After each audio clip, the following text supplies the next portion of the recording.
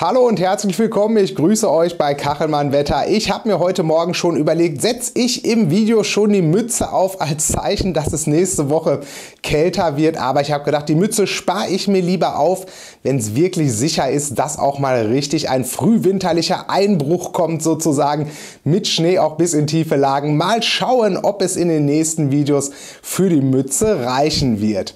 Wir blicken wie gesagt heute natürlich in die Mittelfrist rein in die nächste Woche. Lars hatte vor allem so bis Sonntag schon mal genauer gemacht. Es sind ja jetzt wieder neue Wettermodelle da, deswegen mal der Blick so in die Mittelfrist in diesem Video. Wir blicken zunächst auf den Montag. Wir hatten gesehen bei Lars heute Morgen im Video, dass die Kaltfront am Sonntag uns überqueren wird, nach Deutschland reinkommt. Rückseitig setzt sich wieder so ein Ableger des Atlantikhochs Richtung Deutschland durch. Das heißt, letzte Niederschläge ziehen sich nach Südosten zurück. Ja, und dann ist Kaltluft bei uns eingeflossen. Wir sehen aber auch schon am Rande dieses Hochablegers, da macht sich schon wieder etwas mildere, vor allem aber auch feuchtere Nordseebrühe auf dem Weg die dann so Richtung Norddeutschland, vor allem so Richtung Dienstag und Mittwoch drücken wird. Mittwoch ist dann auch schon wieder der Knackpunkt und da sind wir schon wieder ja so bei sechs Tagen etwa und wir sehen, dass die Wettermodelle unterschiedlich sind. Das ECMWF hat immer noch, ihr erinnert euch an die vergangenen Videos von mir, so eine schwache Hochdruckbrücke, die noch dagegen hält, über Deutschland, vor allem über Süddeutschland liegen. Die, die lässt es noch nicht zu, dass so richtig die Tiefs am Rande des kräftigen Atlantikhochs von Norden her durchpreschen zu uns und die Kaltluft, der Weg frei wird für die Kaltluft aus dem Norden. Das GFS-Wettermodell ist da ein bisschen anders, denn wir sehen, da ist diese Hochdruckbrücke nicht mehr vorhanden. Die Schwachstelle mit dem Tiefdruckgebiet Richtung Mittelmeer, Richtung Italien wird genutzt und der Weg wird schon eher frei für kältere Luft aus Norden dann und vor allem eben auch für mehr Tiefdruckeinfluss. Wir können also schon jetzt festhalten, dass so der Knackpunkt vor allem so schon am Mittwoch und dann am Donnerstag sein wird, wie sich die Wetterlage im weiteren Verlauf entwickelt. Dazu kommen wir aber gleich. Blicken wir zunächst mal auf einen ersten Vorhersagetrend so für die erste Wochenhälfte Montag bis Mittwoch. Und auch da seht ihr schon, es wird wieder deutlich kälter werden. Am Wochenende kommt ja vorübergehend mildere Luft etwas rein. Und dann sehen wir, dass es vor allem in den Nächten mal wieder frostig werden kann und vor allem auch dort, wo es bisher eben nicht so häufig für Frost gereicht hat oder sogar noch gar nicht, nämlich auch im Westen Deutschlands und auch im Osten Deutschlands. Wir sehen, die, die Wahrscheinlichkeit steigt, dass es nachts auch mal klar ist, dass der Himmel klar ist, ja, und es dann frostig wird. Die Tageshöchstwerte liegen meistens eben im deutlich einstelligen Bereich nur noch, durchaus nur so bei 4 bis 6 Grad. Und dann sehen wir, dass vor allem so dann ab Dienstag wieder im Norden diese Nordseebrühe reinkommt, schiebt sich rein. Das heißt, hier eher wieder dann hochnebelartige Bewölkung, teilweise etwas Nieselregen und hier wird es natürlich dann auch keinen Nachtfrost mehr geben. Im Großen und Ganzen sehen wir auch, Niederschlag ist erstmal wohl kein großes Thema, außer dass etwas Sprühregen im Norden dabei sein kann. Montag allerdings noch mit der abziehenden Kaltfront, vor allem Richtung Erzgebirge und Alpen, mal noch etwas Regen bzw. in höheren Lagen Schnee. Ja, ihr seht also, bis Mittwoch tut sich in Sachen Wintereinbruch nicht allzu viel, vor allem in Sachen Schnee, wobei es schon dann eben morgens, wenn es frostig ist, so einen kleinen winterlichen Eindruck geben kann. Durchaus eben mal reif, es ist frostig. Ja, das ist ja schon mal ein bisschen Frühwinter, der uns dann wohl in der ersten Wochenhälfte bevorsteht. Deutlich spannender wird es dann, ja, wie so oft in der erweiterten Mittelfrist, wenn wir eben jetzt so Richtung 7, 8, 9 Tage gehen. Und ihr seht auch schon, dass in Sachen Großschnee, Wintereinbruch, das wird schon wieder ein bisschen nach hinten geschoben bzw. aufgeschoben. Es sollte ja schon ja auch, ihr erinnert euch auch an vergangene Meldungen, die ich ja auch immer mal wieder ein bisschen kritisiert hatte, dass ja schon ab dem Wochenende der große Kälteeinbruch, Polarpeitschen, Schneebomben, was weiß ich nicht alles kommen sollte. Ja, das ist erstmal nicht der Fall. Und wenn wir jetzt in den Bereich kommen, der eben so in sieben, acht Tage ist, da sage ich natürlich immer, vorsichtig ist die Mutter der Wettermodellkiste. Das ist natürlich schon wieder ein bisschen Spekulationsbereich. Es deutet sich aber so ein grober Trend an, den wir jetzt mal ein bisschen erläutern wollen. Wir sehen zunächst mal für den Freitag, was tut sich. Und zwar sehen wir hier nach dem ECMWF-Wettermodell ein kräftiges Tief, sogar ein Sturmtief, was sich hier so im Bereich der britischen Insel Nordatlantik entwickelt. Ja, und das würde eben weiterhin eher wieder zunächst verhindern, dass eben deutlich kalte Luft, deutlich kältere Luft aus Norden zu uns durchbrechen wird. Denn so ein Tiefdruckgebiet hat auch immer so ein bisschen eine Vorderseite, wo durchaus vorübergehend nochmal ein bisschen ich sag mal, mildere Luft oder zumindest nicht hochwinterliche Luftmassen zu uns kommen, sondern vorderseitig nochmal eben doch deutliche Plusgrade reinsuppen zu uns. Aber das ist eben schon mal eine interessante Konstellation und wir sehen nach dem GFS-Wettermodell, da ist die Lage so ein bisschen ähnlich mit diesem kräftigen Tief, mit diesem Sturmtief Richtung britische Inseln, Richtung Schottland, aber das GFS hat auch den Tiefdruckeinfluss eben dann Richtung Skandinavien bzw. das ECMWF-Wettermodell. Das ist die Frage, was tut sich hier Richtung Skandinavien? Was tut sich Skandinavien Richtung Mitteleuropa? Prescht das Tief eben durch und auf der Rückseite kommt die Kaltluft.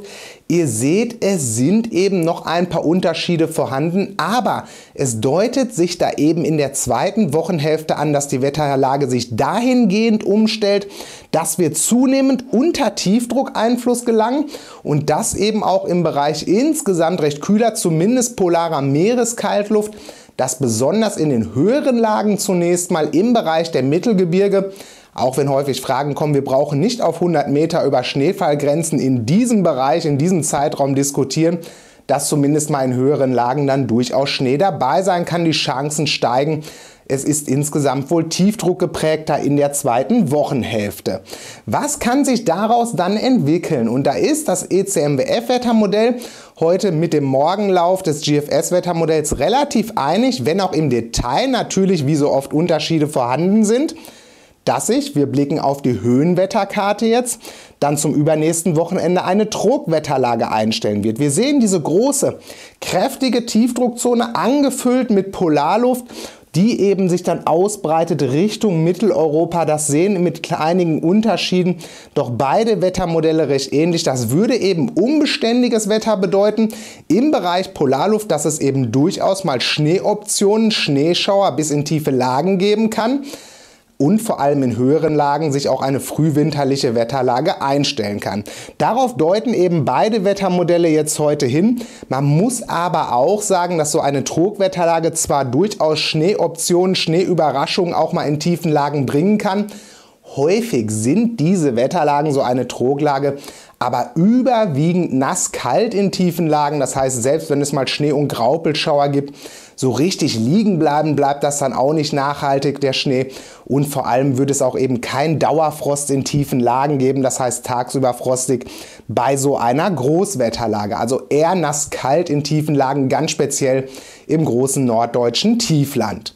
Ich will euch dazu noch zwei Karten zeigen aus dem ECMWF. Wie ordnen wir das ein bezüglich möglichen Wintereinbruch oder Frühwintereinbruch, wie auch immer man es nennen will.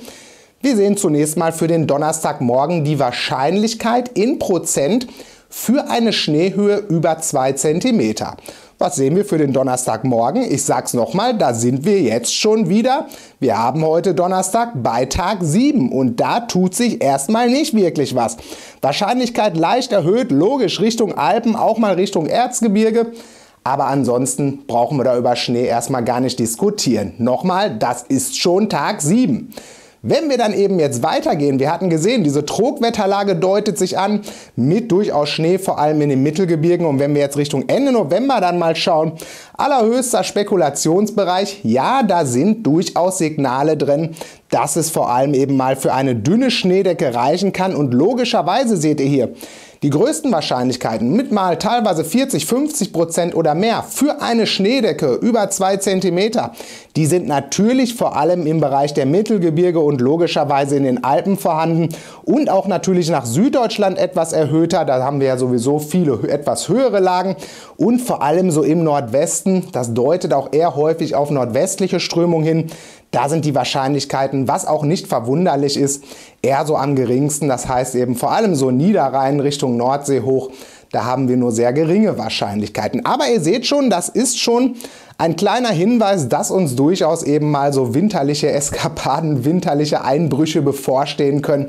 Wie gesagt, nochmal, das ist logischerweise Spekulationsbereich. Ich will euch den ganzen Ablauf nochmal kurz zeigen an Ensembles hier. Ich habe Kassel herausgesucht, so im Großen und Ganzen so ein bisschen die Mitte Deutschlands. Wir sehen den Ablauf eben für die nächste Woche so im Großen und Ganzen ganz gut. Es kommt die erste Kaltfront. Ich habe euch wieder eingezeichnet die 10 Grad Marke, die 0 Grad Marke. Jede Linie ist eine verschiedene Lösung. Wir sehen, dass eben am Sonntag auf Montag die erste Kaltfront kommt, bringt eben so eine leichte Abkühlung dann schon mal von den etwas milderen Werten am Wochenende. Dann zappelt es schon wieder so Richtung Dienstag, Mittwoch, Donnerstag ein bisschen, dass hier eben diese Nordseebrühe hereinsuppen kann. Es gibt sogar Lösungen, die gehen sogar teilweise schon wieder so knapp an die 10 Grad ran. Die Unsicherheiten sind da ziemlich groß, wie weit diese Nordseebrühe Richtung Landesmitte und in den Süden vorankommen wird. Sehen wir eben, dass tendenziell schon ein Abwärtstrend in der zweiten Wochenhälfte und zum übernächsten Wochenende erkennbar ist. Die Temperaturen meistens nur noch etwas über 0 Grad, maximal so um die 5 Grad plus. Aber ihr seht auch kein eindeutiger Hinweis auf Dauerfrost und großes Winterwetter. Es ist natürlich auch Ende November, das wäre ja vielleicht auch noch ein bisschen früh. Aber wir sehen hier, ich habe es dran geschrieben, dass dort eben die nasskalte Trogwetterlage kommen kann mit Schneeoptionen, Schneeschauern auch mal bis runter. Dann ganz zum Ende des Trends, Richtung Ende November, seht ihr auch noch, ist hier noch drauf, da gehen die Lösungen logischerweise die Linien deutlich auseinander. Das ist einfach doch ziemlich spekulativ. Ja, das war es erstmal grob zusammengefasst. Ich habe wieder viel, viel, viel erzählt. Gibt ja auch viel zu erzählen. Morgen, wie gesagt, von uns hier auf dem Kanal die nächsten Updates. Ich wünsche euch noch eine schöne Restwoche. Bis dann und ciao.